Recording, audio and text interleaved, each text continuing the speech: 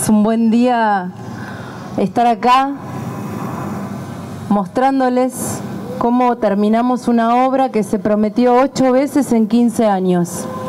Y nosotros en un año la estamos mostrando terminada y la semana que viene están haciendo las pruebas técnicas, las turbinas empiezan a funcionar. Y lo más importante es que le van a duplicar la capacidad de energía no solo a esta ciudad, también a Miramar, a Necochea, a Balcarce.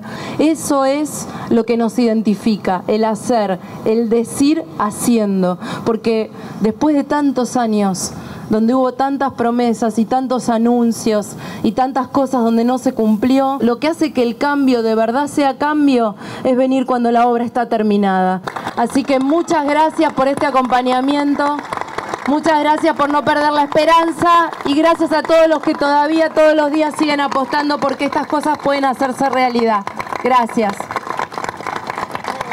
Esta obra va a proveer de electricidad, por lo menos, durante más de 10 años en la ciudad de Mar del Plata, eh, armando un paraguas sobre todo el crecimiento de la ciudad y sus necesidades, tanto habitacionales como comerciales.